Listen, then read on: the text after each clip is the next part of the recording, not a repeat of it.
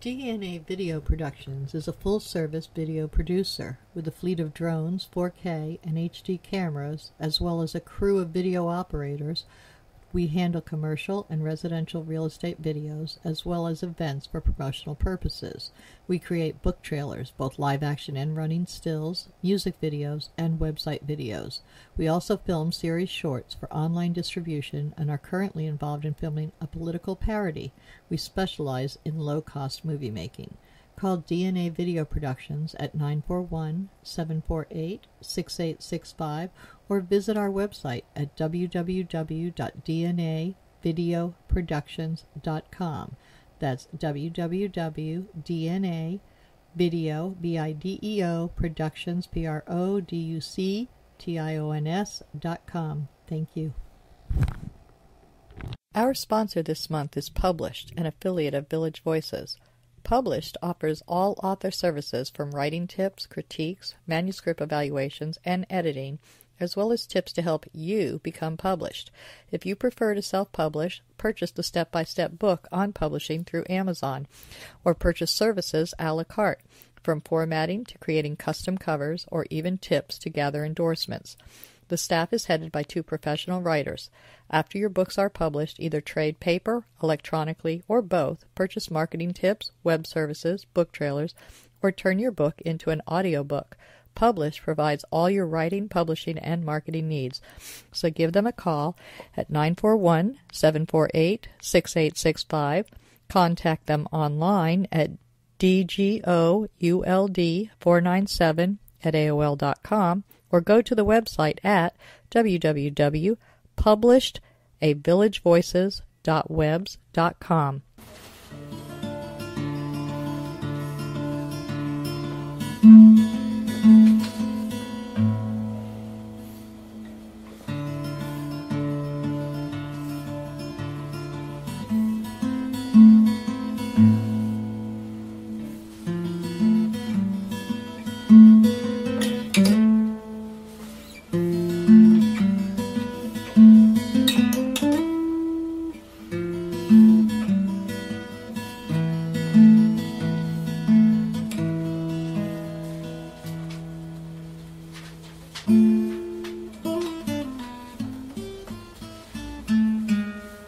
Good afternoon. This is Donna Lee on Culture Coast. The intro you just heard was by Al Musitano, and today we're interviewing Connie Buckler Gill in the Village of the Arts at her Studio C. Connie is an artist. Hi, Connie. How are you? Hi, I'm good. Thank you. Thank you, Donna. And what will um, I'm going to start with you, as I do with most of my guests. Where did you get started in art? Well, I was uh, one of those kids in school that drew. I was I, I was the kid in school that knew how to draw and complete all the art projects, you know, and I was the one the teacher chose for the art fairs in grade school. So, um, but I guess my real start came from my father. My father was an artist. Professionally? He had a few things on the side. He did a comic strip for the local newspaper, and uh, he sold some paintings. He was primarily an engineer, though. He was studying to be an engineer so he could raise the family. But he had a studio in the basement, and so we always had paints and brushes and. So you had an early introduction to art. So you did it through school. That would be elementary and secondary. And did you go to college for art, or did you go for something else? I I did. I went. I when I moved to Florida, I got a, a job with a scenic studio, uh, Hagenbeck Wallace. They do all the sets and artwork for the Ringling Brothers Barnum and Bailey Circus and the uh, Walt Disney Ice shows. So, So I did what sets. kind of what kind of work would you have been doing to design sets or to create sets? Does it actual physical artwork, two dimensional, Well, three there was a dimensional? there was a designer. There was a designer that would design the um, the circus productions and the ice show productions, and then he would give us the designs, and we would create the designs. We had a sculptural team and a painting team. I was a part of the paint painting team. Sometimes the sculptural team, uh, if there were props to be made for, say, the clowns, we would make uh, a lot of foam structures out of uh, structures out of foam that get like a, a liquid rubber over them and then painted. so that. Uh, And how? And, and you say you just moved here from Florida when you got that job. Um, did you move here because of the job, or did you move here for some other reason? I, and where from? I moved here from Minnesota. I was I was raised in Kentucky, but I had lived in Minnesota for uh, six years. And you have neither accent. So how many years have you been here in Florida? Uh, Twenty-five. That'll do it. Okay. Yeah, right. we erase accents. Right, right. Yes, that's true. Okay, so you moved here from Minnesota Mm-hmm. after a stint in Kentucky, being born and raised in Kentucky. Right. And what brought you to Florida? The, the the water. I wanted to live near the ocean.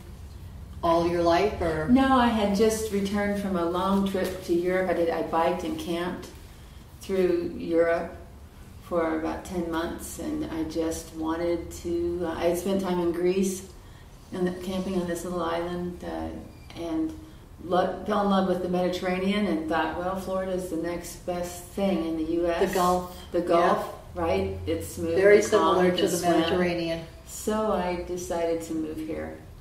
Good decision. yes, it was. Yes. All right, so you got here, and what was the name of this company? Scenic Hagenbeck Wallace. Hagenbeck Wallace, and they did scenic They, sets. they do all the uh, the sets and the artwork for the Walt Disney ice shows and the Ringling Brothers Barnum and Bailey Circus. it was a nice artistic job. You get It to really was. I learned a lot. creative. I learned so much, and then um, I mean, an excellent team of artists. Pretty amazing, really. And um, that's where I developed the desire to create um, big things. I was going to bring that up. You do mostly murals. I'm a muralist. So, but the thing is, is like I said, a designer would give me the design and say, "This is what we want." And so I learned how to do that, but I wanted to create my own design. So I left there. I went to Ringling School of Art and Design, and when I finished there, I started my mural business. That was about well, that was in '95. So um, that- that's what I've been doing. All right, and Okay. so where are your murals to be seen around town? They're mostly in um, homes, private homes. In, on the interiors or exteriors? Well, I uh, interiors, some exterior. I do a lot of pool, like pool walls are popular here in Florida. You know the, you know the the. Uh, How do you find your clients? well, when I when I finished Ringling, I got a job as a waitress in a Santa Fe steakhouse, and I painted a, a southwestern mural for them, and um, an interior designer uh, came in as a client, as a customer, saw that mural, and uh, start, started using me as her muralist So and decorative arts person. So at that time, that was in '95. She was the beginning of me getting connected in that world, the interior design world. so I have you a few you have quite a few designers. all right. hmm That's what I was aiming for. So how did Yeah. so she was your first interior designer that made you realize that that was the direction That's to go in to find the jobs and you're on their radar so they know that Right. you have the kind of quality that they want and they can give you an idea and you can bring forth idea you can bring forth little little draw ups of what you might do so so the client can say a or nay Yes, something like that. They, uh, you know, it's th- they of course are designing the space. Um, once they became once they've got become confident in my ability to enhance the space, I meet with the client. Sometimes the interior designer knows exactly what she wants, but more and more. Well, that was that was that was more the case in the first five years. But after you know 18 years, they really have a good relationship with my designers, and they they want more and more you know, my input and trust that I may know what the wall needs to be or what the room needs. but like It's more of a collaborative effort. Okay, know, between the me owner and the designer and the and the and the client. owner yes. And, and I'd have to say most of my work at this time is word of mouth. Um, does it keep you busy Yes. That's fantastic. I, in here, your what is your average size piece, and what are you doing that on? Is that canvas? Canvas. Well, well, when I have the opportunity to work, um, do my own thing, and, and it's not a you know a mural, commission, or a decorative arts piece, I like to work with oils. I love oil paintings. So like the uh, peacocks and the flowers, I The, The color, the, the bright color. colors, the, the Mhm. jewel tones. yeah. Because I notice most of yours are in the deep jewel tone color range. You're not doing Yeah. pastels, and that's that's Right. that's oils because oils don't really do pastels. That's water. Well, if, Watercolor if, goes if to you want to use a lot of white, you know, you can get pastel, but they're so rich and juicy coming out of the tube when they're you know, all these colors. So. Now, when you do the murals in homes, those are acrylics. Those are acrylic. Um, the last in the last five years, though, I have been using more oils as well. I'll do my first layer in acrylics and then apply the oils. It gives it you know, Depth a little and- more depth and Uh, right on the walls. Wow, Uh-huh. that's interesting. yeah, yeah. And that also depends if, if the client will allow that because there's a little more of a you know an odor, lingering odor for you know a week or so with Okay. oils. Now, your average size piece that you do here in your studio is what six by four, ten by eight.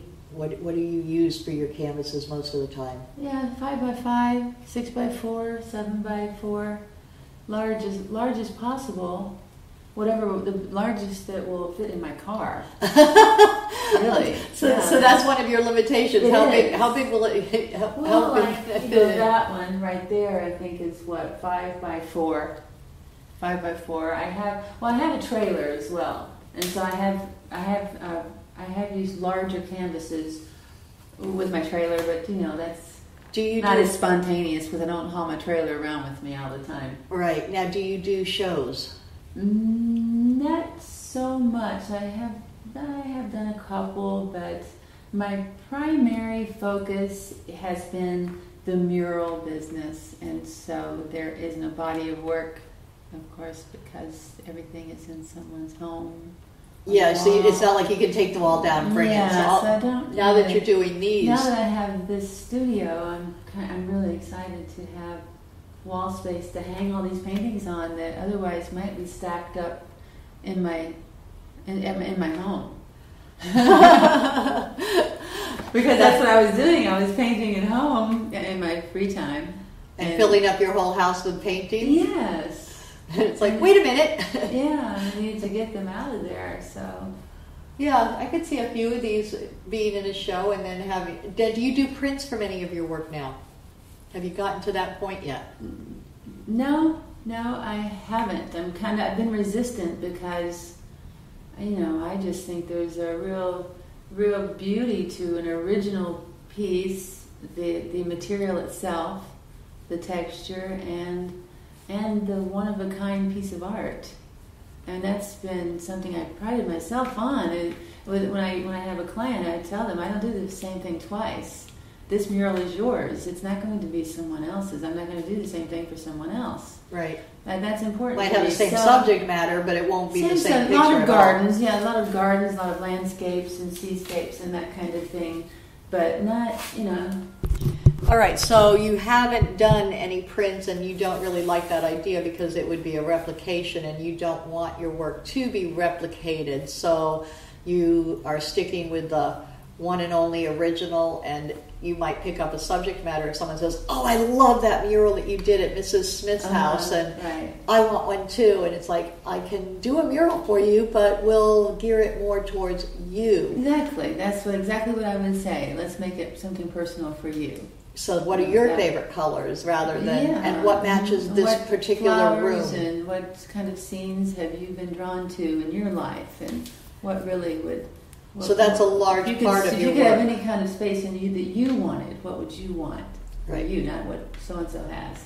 So we work on it. We work on it, and it comes about really easily because once a you know once a, a woman or a man, or the couple, the family start to accept that, take that in, they get excited about that, and they'll spend some time talking about it, and you know, come up with something that they really want. And I'll do sketches for them. The next step would be the sketches and sample boards of textures and colors, and Now, before bring that to them. before that first job where you were doing the sets for Disney and and for uh, the Ringling Brothers, did you were you drawn to murals at that point, or was that what got you into the big, large ideas, or I mean, because it's Yeah, in school and college it was smaller, right? Well, it was smaller in college, but um, before that, honestly, when I was in when I was in Europe, I uh, met a muralist, and uh, his work was so beautiful, and I remember, you know, thinking that's what I want to do. I, I I am in love with murals. I have one on my back fence, um, and it's Oh, it's really nice. But I, I love murals. I, I Mm, Give the illusion that the wall goes somewhere else. Wow. have you done any um, computer art um, where you actually do the things on the computer? No.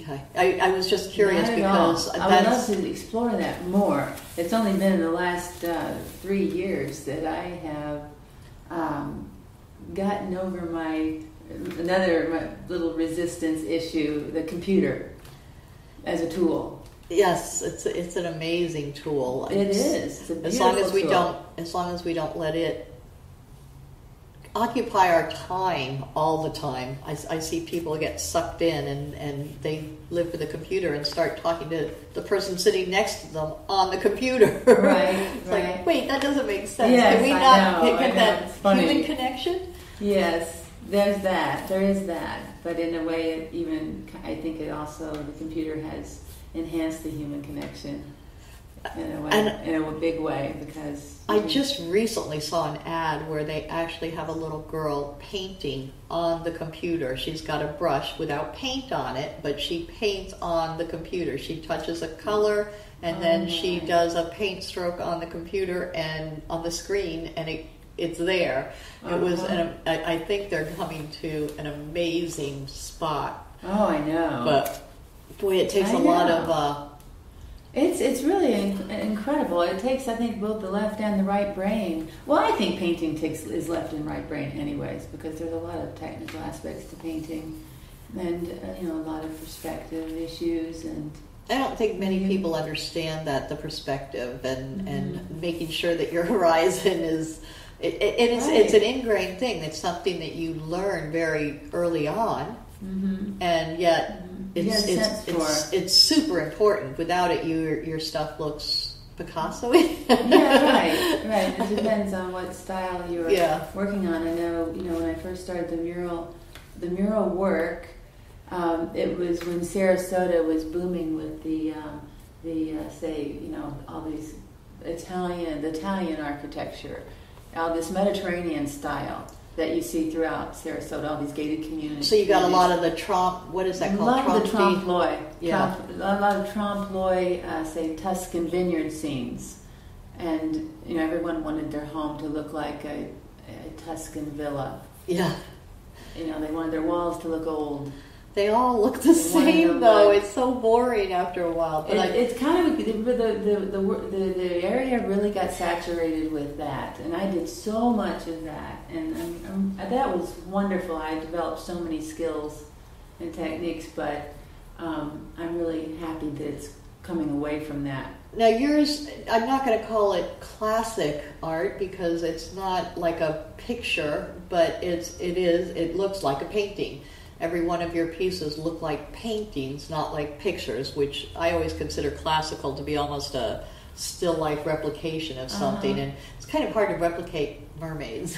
Yeah. you don't have that Right. model. That's Well, I don't actually. Those, you know, I mean, I've painted two mermaids and, and three actually. That I don't. It's not like mermaids is a big subject, or a big subject. but it me. has to do with water, But like someone water. asked for those. Someone requested two mermaids for their gallery uh, for a summer show. Okay, we've had a couple different mermaid shows here too, so Yes. I, I understand where you're. So I so I painted those, and there they are.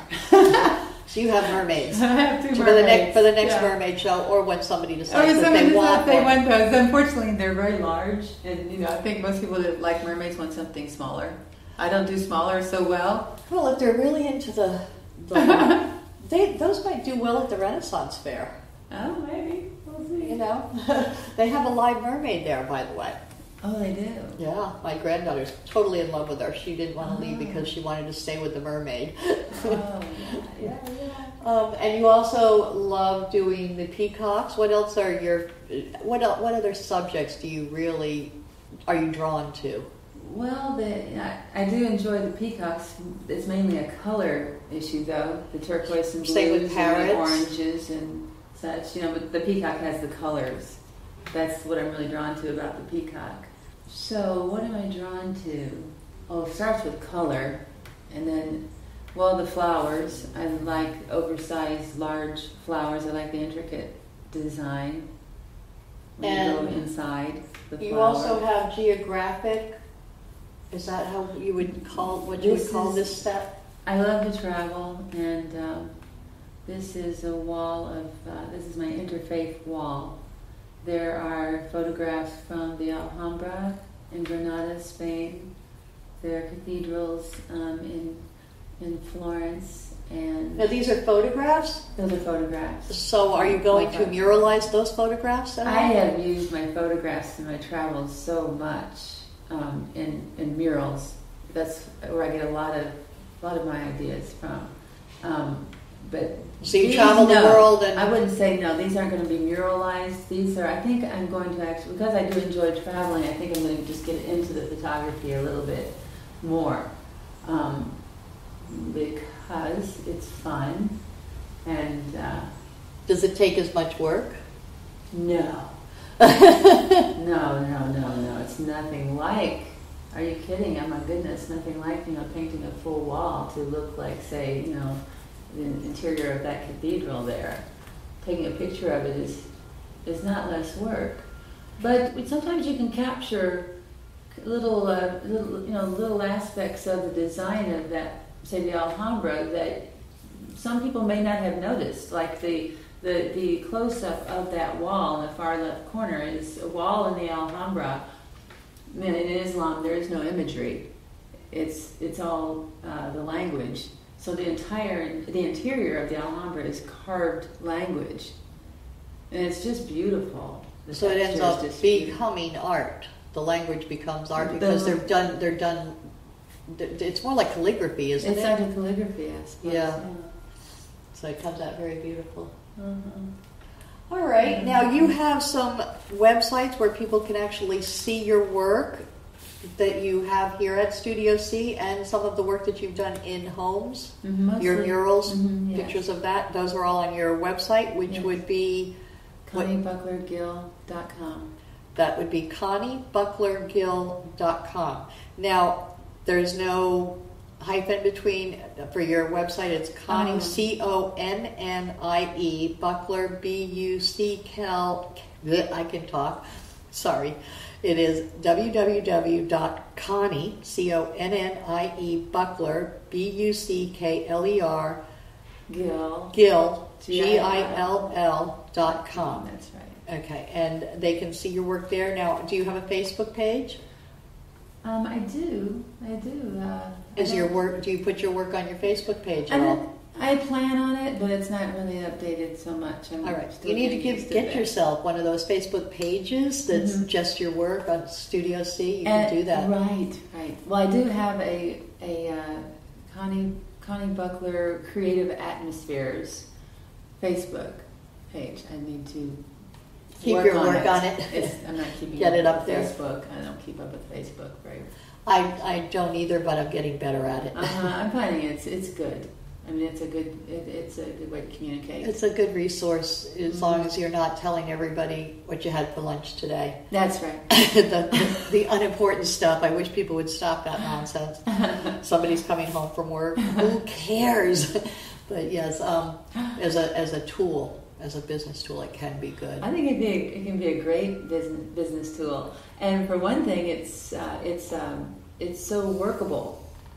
You know, it's so easily workable And free. for for or people like myself that I'm not I'm not, incredibly com- computer savvy. So I found downloading pictures on Facebook is really quite simple And free. and free. Let's not forget that. And, and free. Yeah, that's right.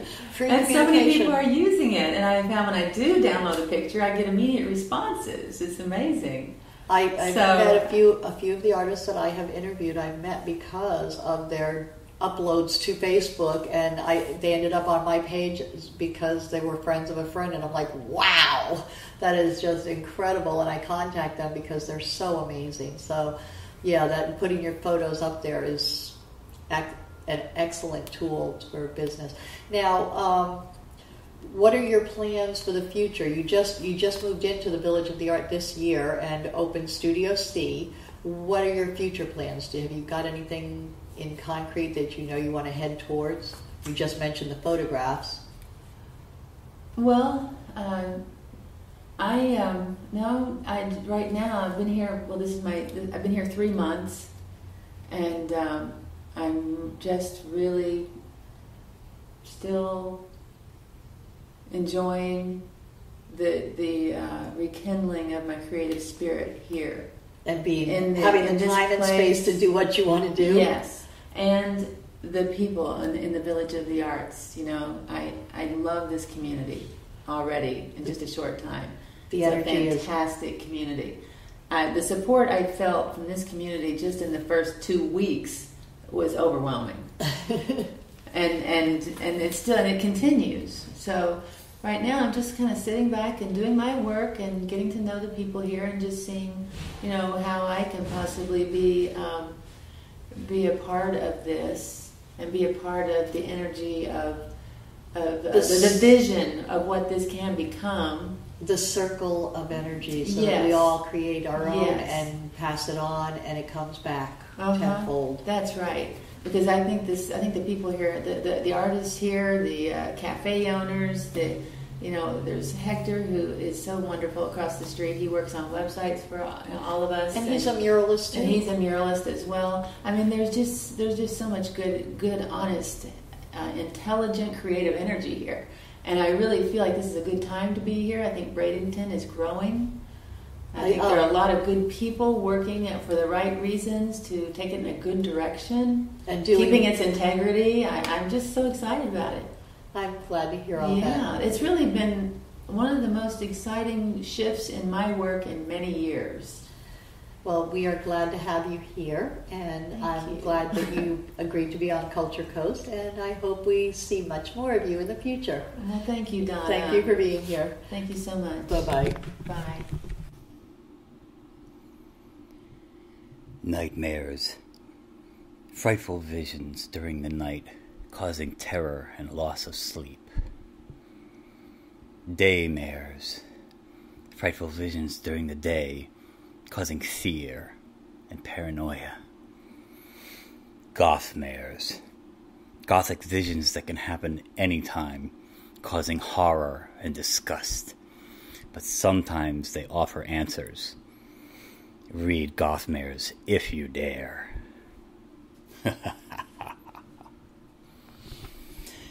Gothmares, a young adult novel by Al Musitano, available on Amazon and fine bookstores everywhere.